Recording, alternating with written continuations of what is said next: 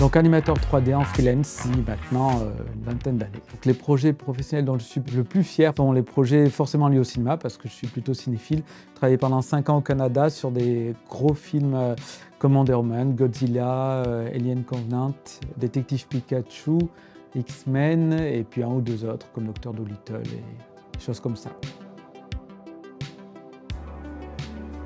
Pour moi, intervenir dans une école à IRTSUP, c'est avant tout proposer une expérience, je dirais, professionnelle à des étudiants. Pas simplement leur donner des cours, mais leur permettre d'accéder à une, à une culture du métier. Je donne des cours d'animation et de suivi de fabrication de films. Avec les étudiants de troisième année, où on travaille sur les films, on travaille automatiquement en groupe. Fabriquer un film, c'est un, processus d'équipe.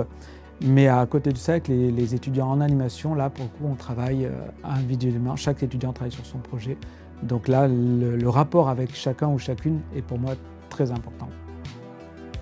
Me plaît le plus à IARTSUP par rapport aux autres écoles justement, c'est la bienveillance qu'on peut trouver avec les élèves, avec les intervenants. Le conseil que je donnerais à tous mes futurs étudiants, mais tout le monde quelque part dans ce domaine-là, c'est de rester passionné. Si on le fait pour un prestige ou parce qu'on parce qu'on ne sait pas trop quoi faire d'autre, ça ne marchera pas. Donc gardez la passion. En fait, beaucoup euh, d'étudiants arrivent en imaginant qu'on va finalement euh, très vite animer des choses extrêmement complexes et en fait ils se rendent compte que d'abord il faut revenir sur les fondamentaux du cadrage, du dessin, de la narration, du jeu d'acteur.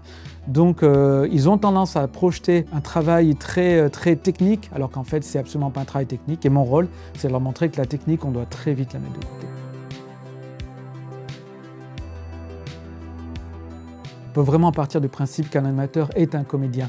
Euh, pour moi, les animateurs 2D, 3D sont des comédiens qui préfèrent être derrière la caméra plutôt que devant. Mes cours, je les oriente beaucoup dans cet axe-là, c'est-à-dire de pouvoir montrer en sortant de l'école des travaux très concrets et de montrer quel est notre univers. Ça va permettre à l'étudiant sortant d'aller postuler dans différents studios, différents types de studios, euh, à différents type de poste, de responsabilité ou pas, en général on ne commence pas avec des responsabilités, mais tout simplement dire voilà, mes compétences techniques, artistiques sont là, mais mon univers est là. Et je ne projette pas forcément un type de poste, mais par contre un type de comportement. C'est-à-dire être ouvert à l'autre, à la critique, mais aussi être tout à fait conscient qu'on fait un travail d'équipe et que notre travail s'articule avant celui de quelqu'un, mais aussi après.